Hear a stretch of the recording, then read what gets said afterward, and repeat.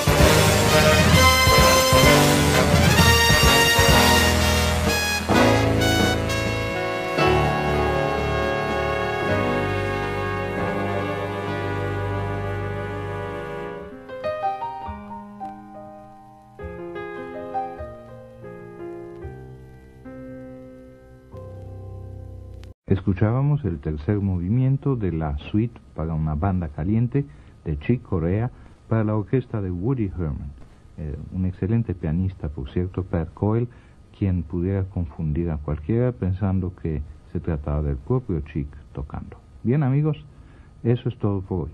Paz y jazz.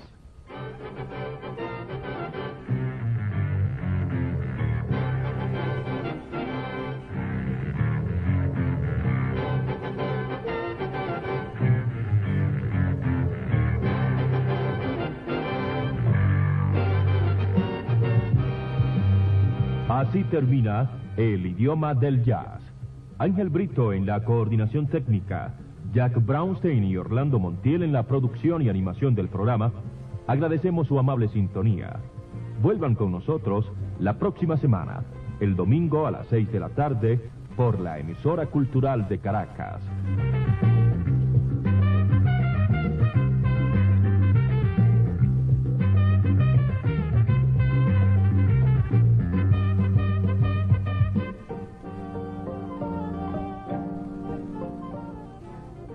Este programa fue presentado por Motolandia Compañía Anónima.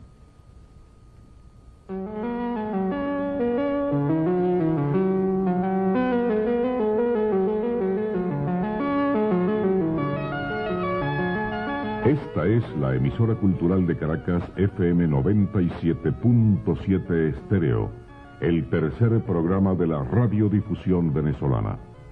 Las empresas patrocinantes de nuestros programas de la noche son Ascensores Otis de Venezuela, Compañía Anónima, Banco de Maracaibo, Compañía Anónima Metro de Caracas, Centrales Azucareros Compañía Anónima Senazuca, Fundación John Bolton, Hotel Tamanaco Intercontinental, La Electricidad de Caracas, Meneven Sociedad Anónima, Mayer, Productos Terapéuticos